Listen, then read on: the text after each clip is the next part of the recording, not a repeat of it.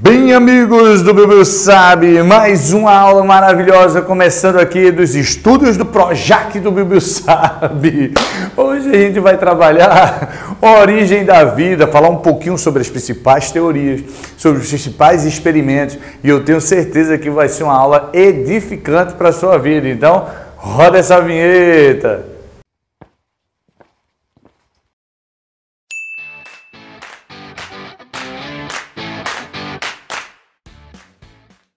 É, Alfredão, é Jéssica, mais uma aula maravilhosa e a gente vai discutir um assunto, ó, melzinho na chupeta. Como tudo começou? É, sabe que essa é uma das principais né, perguntas aí, dogmas ou enigmas da vida. Quem nós ser, para onde nós vai, quem nós é, como é que a gente foi. Deu para entender a parada? O homem sempre quis saber isso. E lá de trás, ó, vamos pensar lá em Aristóteles, o cara já pensava nisso, ele ficava olhando assim, gente, quem é, que é a gente? A gente vai para onde depois daqui? Deu para entender a parada? Então a gente sempre quis saber isso. E olha que Aristóteles aí, 400 e pouco, 500 anos antes de Cristo, deu para entender? E pasmem, muitas das ideias de Aristóteles se mantiveram até recentemente pensando em tempo histórico, 400, 500 anos antes de Cristo, e a gente pensar nisso, em tentar questionar essas ideias dele aí dois mil anos depois, né, lá por volta de 1500 e alguma coisa, 1600 e alguma coisa, pô, é muita coisa. Deu para entender quanto tempo Aristóteles fundamentou muita coisa, beleza? Mas é muito importante a gente começar essa aula falando principalmente de biogênese e abiogênese. Talvez esses aí sejam os dois nomes mais fortes para a gente entender todo o processo de questionamento da ciência ao longo da história. Primeira coisa que você tem que saber é que biogênese e a biogênese tem esse azinho aqui na frente, né? Que é um prefixo de negação a biogênese. Show? Então esse a biogênese está dizendo o seguinte, ó, bio quer dizer vida, gênese criação. No caso da biogênese, ele diz o seguinte que a vida só surge a partir de um organismo já existente, de uma vida já existente. Então a vida cria vida, beleza? Show através de um mecanismo chamado de reprodução. Já a biogênese dizer, não, não é assim. Ela matéria bruta que desenvolveu a vida. Beleza isso? Então essa matéria bruta, ou que a gente chama também de geração espontânea, Diz isso aí, que a matéria bruta foi quem iniciou o desenvolvimento da vida. E ao longo da história, e ao longo desse trabalhinho que a gente vai ter agora, muita gente defendia isso e outros defendiam isso. E aqui, filho, era briga de cachorro grande. A galera agora não podia chegar mais e falar assim, ei, xé, e acabou. Não podia mais. Porque nesse período aqui, agora, o conhecimento científico estava cada vez mais avançando. A curiosidade e, de fato, os processos de análise estavam determinando o seguinte: aí, não é só no achismo, não. Não é só no empirismo, não. Aristóteles se manteve por muito tempo porque não tinha quem questionasse ele, ou que não tinha quem desafiasse assim: bora, Aristóteles, prove isso aí. Não tinha. Por exemplo, Aristóteles, por um momento, ficou olhando assim o jacaré, olhou para ele e disse assim: ó o jacaré sai da água. De repente ele vê os meninos saindo da água. Os meninos são os filhos do jacaré, né? Ele olha assim: peraí, o que é que tem lá dentro? Botou a cabeça, olhou lá, não conseguiu ficar semanas embaixo d'água. Ele olhou e fez: tem lodo lá embaixo. Opa, então o jacaré nasce do lodo. Tu tá entendendo a parada? Era o conhecimento que a gente chamava de conhecimento empírico, com base nas observações para a época, agora, após ali a reforma protestante, onde vem o tempo do, do, iluminismo, onde traz lá o conhecimento de ciência, começa agora, ei, não é assim não, filho. Não basta isso não. E por muito tempo, a igreja que tinha o poder na sociedade, por muitas culturas e muitas sociedades aí, daquela época, falava, ele, foi Aristóteles que disse, Aristóteles, filho. Então Aristóteles sabia que Deus fez a parada, deu para entender? Então, assim, não estou criticando de forma nenhuma. Isso foi de extrema importância. Não pense que o, senso, o conhecimento ou o senso crítico é ruim, não. É extremamente importante. É através da crítica que a gente cresce.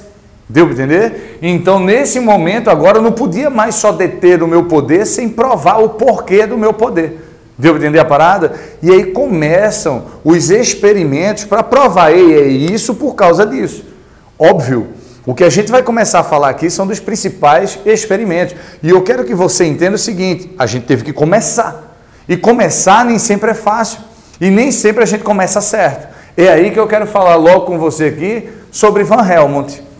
Van Helmont chegou e disse assim: Ah, é para fazer experimento? Vamos lá. Eu vou pegar uma camisa suja, pasmem, tinha que ser de mulher, botar farinha de trigo em cima e deixar no canto escuro por 21 dias e aparece o rato. Menino, quando ele fez isso, e 21 dias depois apareceu o rato, todo mundo, menino, ó, oh, a biogênese, a biogênese, é verdade, ó, oh, apareceu o rato. Foi ou não? Chibiubiu. É óbvio que está errado, mas para o conhecimento de época, por favor, segura aí. Hoje é muito fácil você criticar um experimento que foi feito no começo, porque tu tem um conhecimento legal hoje. Mas na época, pô, caraca, é mesmo, até que surgiu quem? Red chegou e, ei, ei, ô, ô, ô, ô. Não é assim não, calma aí. Isso aqui que você fez, meu amigo, o trigo atraiu o rato e o canto escuro ficou favorável para o rato chegar. Quer ver? Olha aqui, vou pegar uma matéria, colocar em um recipiente, matéria orgânica, carne que seja, e você vai ver que isso vai atrair animais. Só que se eu tampar isso aqui, por mais que atraia, não vai desenvolver nada. A tua menina mesmo, ó. Oxi, não faz sentido. Biogênese, biogênese, ó, é biogênese. Oxi, tá certo. Só que aí, tempos depois, aparece um carinha chamado de Levenheur. Levenheur era holandês. E esse holandês físico, conhecedor de lentes, na época tinha um outro físico também, na verdade o cara era oculista, ó, oculista. E ele começou a associar lentes. E aí Levenheur pegou essa ideia e falou, peraí, deixa eu ver esse negócio. Quando ele começou a ampliar lentes, ele enxergou o mundo microscópico. E ele fez, nossa, que coisa maravilhosa. E ele compartilhou esse conhecimento com um carinha nada mais, nada menos chamado de Robert Hooke, que também era físico, que começou a associar lentes e enxergou a estrutura que hoje a gente conhece como célula. Menino, em 1665, legal isso, né? Só que uma das frases célebres de Leverrier, ele falou algo mais ou menos assim, ó, é maravilhoso olhar uma gota d'água e enxergar milhões de seres vivos se mexendo ali dentro. Que maravilha! Devia ser, de fato, para a época, algo maravilhoso. O cara olhar assim uma gota d'água e falar: caraca, tem coisa para caramba aqui. Show! Bill Bill, descobriram o mundo do microscópio? Show! Tem um outro carinha também importantíssimo, chamado eh, de Jobut, que era francês, também físico, e também desenvolveu seu conhecimento com relação a isso. E aí, esse carinha aqui, quando olhava isso, aí você deve pensar, Bill Bill, descobriram o mundo do microscópio, que maravilha, certo? Olha que lindo! E como é que começou lá? Menino, oxi, sempre tem alguém para. Oxi, deixa, menino, deixa lá. Não, vamos saber, peraí, como é que começou lá? E aí aparecem dois carinhas, Nidan e Spallanzani. Aqui foi cachorrada, meu amigo, cachorrada. Por quê? Agora eu não vou no macro, eu vou a nível de micro, tentar entender como desenvolveu. E esses dois caras fizeram basicamente o mesmo experimento. Como? Botaram dois recipientes, né, recipiente, e começaram a ferver. Óbvio que não podia ser um recipiente aberto, ele tinha que vedar. Só que o primeiro, ele vedou com rolha. E aí no que ele veda com rolha, o que é que aconteceu? Ele ferveu para matar os micro-organismos e ferveu com e botou uma rolha. E aí o que é que ele disse? O Nida chegou e disse assim, aqui, fervi para matar o micro-organismo, botei uma rolha para vedar, e aí, tal, desenvolveu vida depois. Aí o pessoal, menor, a biogênese, porque ele matou, né? ele ferveu, matou o microorganismo, a biogênese. Aí Spallanzani, ei menino, calma aí, não é assim não. Tu pegou e fez o seguinte, botou rolha, rolha é porosa, pode entrar o ar e contaminar. Veda aqui, ó, ou vedou mesmo a parada. No que vedou, ele ferveu quente pra caramba, matou todo mundo e vedou. Aí ele fez, vai, deixa aí agora. Pode deixar. Aí Nida também, tu esquentou que só a gota e ainda vedou. No que vedou, isolou com o contato com o ar, que para a época o ar era conhecido como princípio da vida, ou a força vital. Deu para entender? E aí vedou, então não, aí ficou aquela cachorrada dos dois. Não, que você é feio, não, você que é chato, não, porque sua mãe é isso, a sua que é isso. E tava aquela confusão dos dois. Aí aparece um carinha chamado de Luiz Pasteur. Pasteur fez, para aí. Ah, vamos acabar com essa cachorrada, vamos lá. O problema é a temperatura, é Aí ele achou a temperatura ideal de fervura para matar os micro-organismos, mas não comprometer a integridade da matéria aqui. Ele, ah, o problema é o isolamento com ar, é a força vital. Ele fez esse evento aqui, ou esse experimento, conhecido como pescoço de ganso. Aí, que ganso o quê? Que ganso o quê? É cisne, beleza? E ganso e cisne não é a mesma coisa, eu sei lá. Não, mas é cisne. O nome que ele deu foi cisne. Então ele que criou, ele batizou do jeito que ele quis. Foi? Então, olha o que ele fez. Ele ferveu essa solução de forma que a solução entrou em ebulição e gerou vapor de água. E esse vapor de água aqui, ó, foi formado, condensou e formou água aqui, ó. Beleza? Essa água aqui, e esse tubo não impedia a entrada do ar, não é a força vital? Né? A força vital tem que ter contato com o ar, então o ar está entrando. Observe que o ar, quando entra, ele passa aqui por cima. Mas as partículas suspensas, como bactérias, fungos, esporos, caem aqui, ó. Beleza? Caindo aqui, isso aqui está funcionando como o quê? Muito bem. Um filtro. E esse filtro impedia que essas partículas suspensas no ar contaminassem a solução. E ele disse: pode deixar aí, ó. Pode deixar, vai. Quer quantos anos? Deixa aí. Vai dar problema nenhum. Agora, se a gente quebrar aqui, o ar vai passar sem passar pelo filtro. E aí, se ele passa sem passar pelo filtro, o que, que acontece? Agora a contaminação pode ocorrer. Então o que é que ele concluiu? Ele concluiu que o ar em si não seria força vital, mas seria o quê? Uma fonte de contaminação da solução. E ele, nossa, aí todo mundo, menino, fala, o que é que dá errado aqui? O que é que está errado? Acabou, acabou, ele resolveu o problema. Deu para entender? Aí o pessoal, beleza, então é o ar que traz a paradinha aqui para desenvolver a vida. Show, beleza, tranquilo. Resolveu o problema, né? Acabou o mundo, pronto, ninguém precisa mais estudar. Vamos... Lógico que não. E o primeiro, quem foi? tu tá entendendo a parada? Então, Pasteur chega assim, ó, tem que alguém tem que ter vindo aqui para contaminar e desenvolver a vida. Ela não surge, beleza. Bio, a biogênese começa a perder força e biogênese começa o quê? Agora vai, explica agora. O cara é o brabo, mano, né? explica aí, fala agora, tal. Aí tu acha, né? Não, todo mundo é realmente tá bom, vamos parar. Lógico que não. A pergunta que não quer calar agora é o quê? E o primeiro? Quem foi, né? Quem foi esse primeiro? Aí Pasteur diz, pronto, eu já disse que precisa ter um primeiro. Agora é com vocês, estuda aí, meu amigo, porque se eu ficar descobrindo tudo, acaba a graça. Vai vocês aí, deu para entender? E aí o que é que acontece? Começam as teorias para tentar entender quem foi esse primeiro.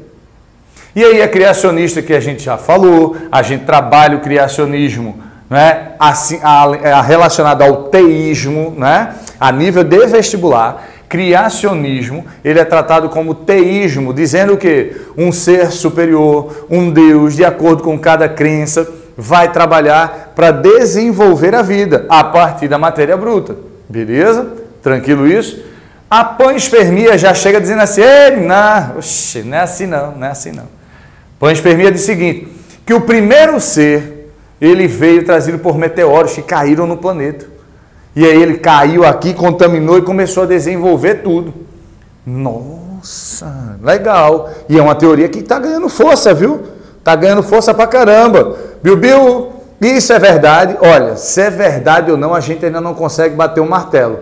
Mas vamos trabalhar como se fosse.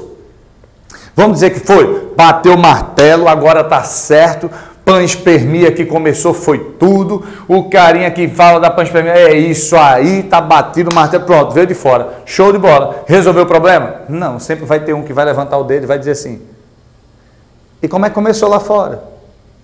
tu tá entendendo a parada? Então, vai acontecer o quê? Só vou mudar de endereço, meu amigo. Como é que começou lá? Aí é outro grupo que vai, deu para entender? Mas a panspermia trabalha disso. E a evolução química? A evolução química fala de quê? Fala justamente do processo gradativo de complexidade das moléculas. Elas começaram do mais simples para o mais complexo. Para para pensar, ver se não faz um sentido. Os seres vivos evoluíram do mais simples, célula procarionte, até os mais complexos que a gente tem aí. Beleza? Então faz um sentido. É aí que surge a teoria da Terra primitiva, proposta por Oparin e Haldane. Esses dois carinhas fizeram assim, peraí, olha só, é bem provável que o planeta, no seu início, deveria ter condições totalmente absurdas, bizarras e impróprias para a vida.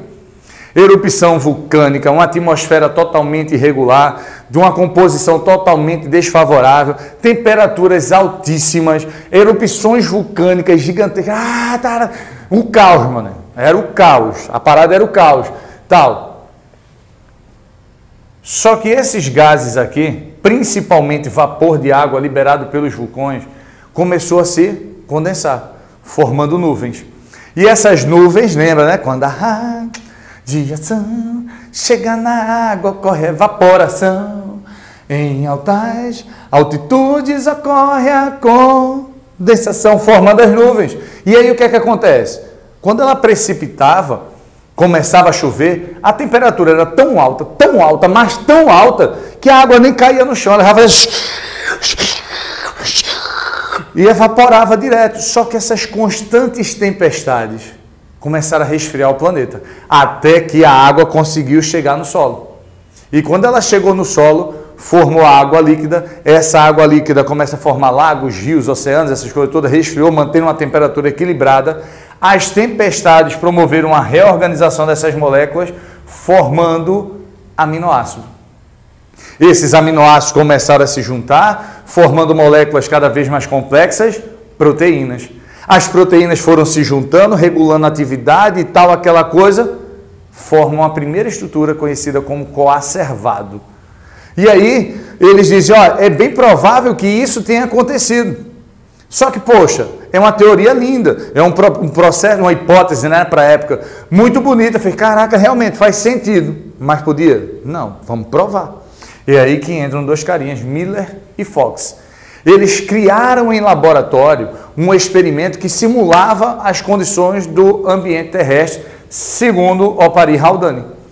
Quando ele cria essa ideia, cria esse experimento e faz o processo segundo o que eles propuseram, eles chegam até a obter aminoácidos.